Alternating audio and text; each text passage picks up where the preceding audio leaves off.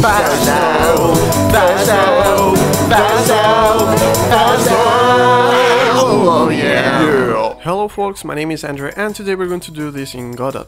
We are going to find out the number of characters in a string. I'm using the text rich label to display the text and I'm using a text edit to write some text. Now let's do this. Add a new script to the rich text label and here delete everything except the function delta. I'm going to create a variable where I can store the length of the text. So the variable is going to be text box. Since this is a dynamic thing, I need to check the length frame by frame. That's why we're going to update the variable inside the process delta. So text box equals to string and here we need to get the text from the text box dot get text. Outside just put dot length. This is going to give us the length of the text frame by frame. Now I need to display this text. Since we are in the text switch, just use set text. Inside I'm writing length of the text is plus string of the variable text box. Let's see if it's working. It's working. You're done. Leave a like and subscribe.